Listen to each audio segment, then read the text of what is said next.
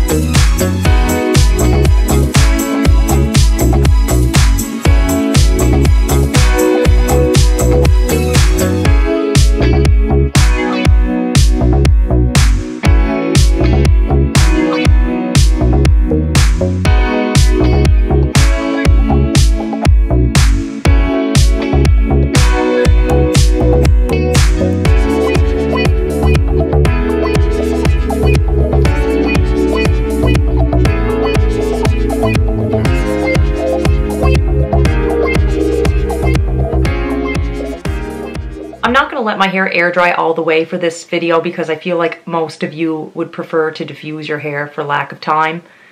Um, but if I was to let my hair air dry all the way, I usually use two little claw clips because I am too lazy to very strategically root clip all of my roots. I just take two little claw clips and I kind of pile this part of my hair up towards the top of my head and clip it on either side. And what happens is it sort of forces um, my roots into like more of an upright position when my hair is drying. So it does create a little bit of volume. If I keep these clips in until my hair is 100% dry, it's going to make kind of a wonky hair pattern.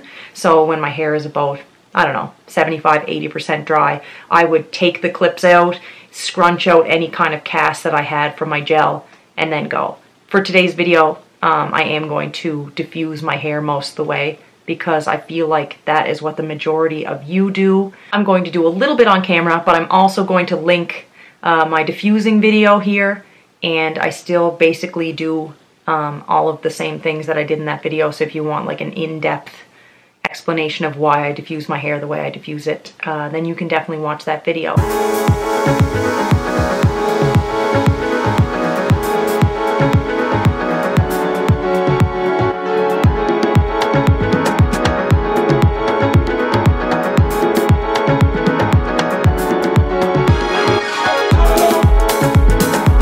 Is how my hair turns out. It's much curlier um, than you would probably think if you only watch the beginning of the video.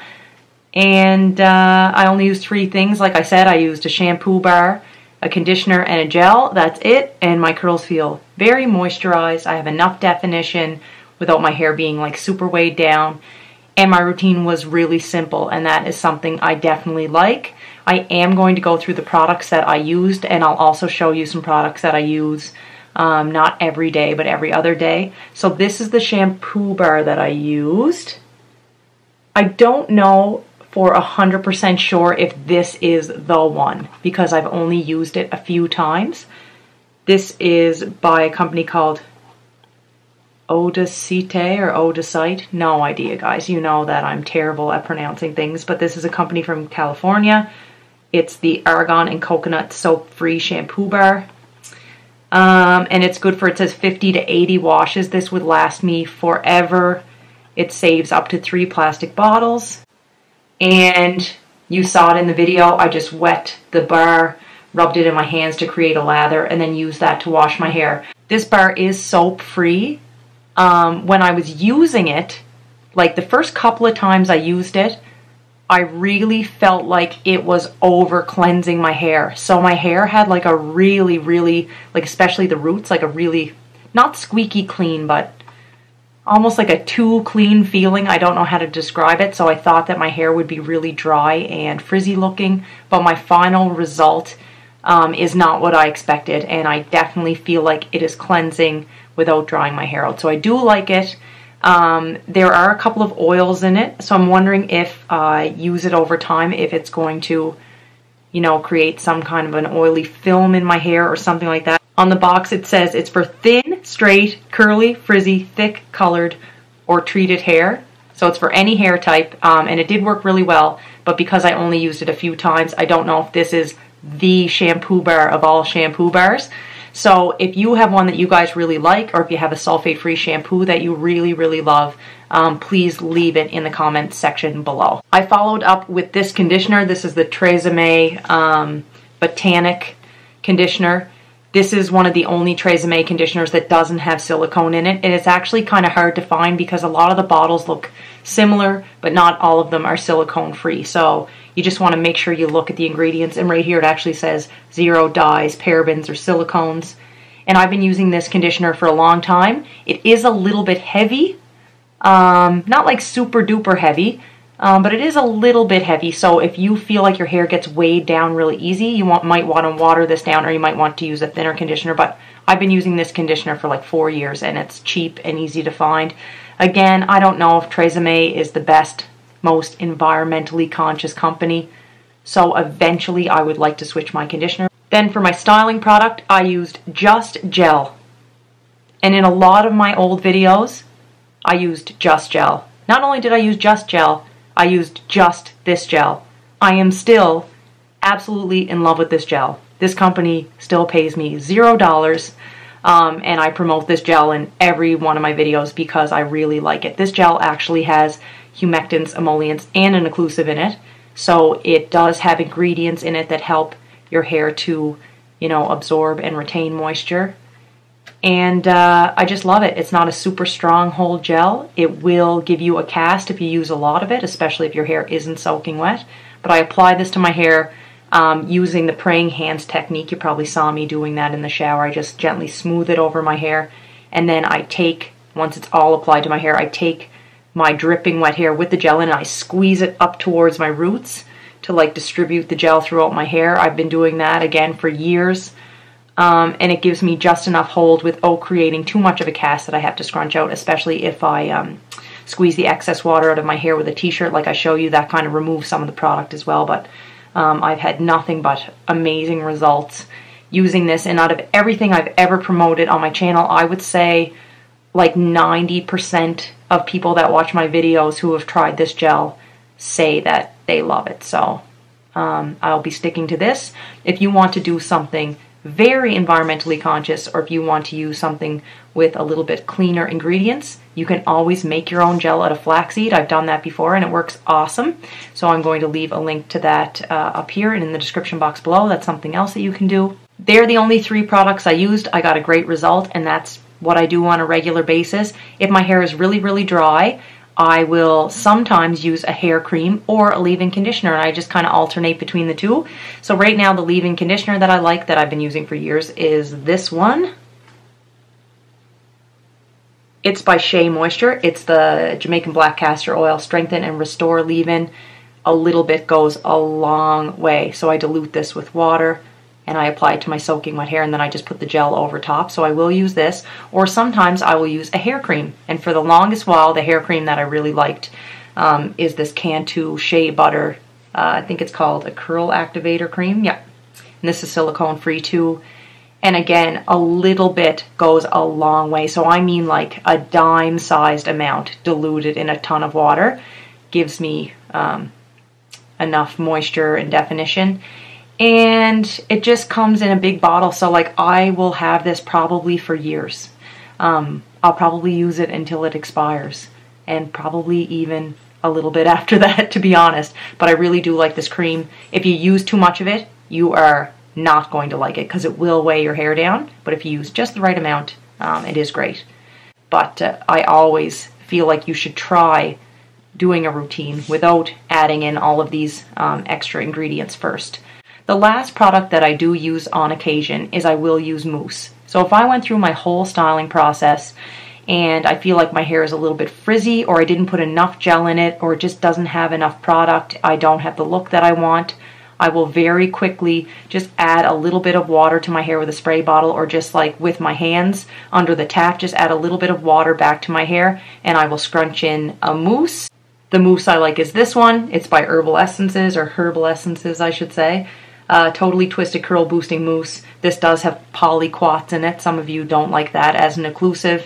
Um, but I don't find this build up on my hair at all. There's no silicone in it, um, and I really like that. So I don't want to confuse you guys by showing you these products um, because I don't use them on a regular basis. I just use the shampoo, the conditioner, um, and the gel, but sometimes I will play around with using this stuff.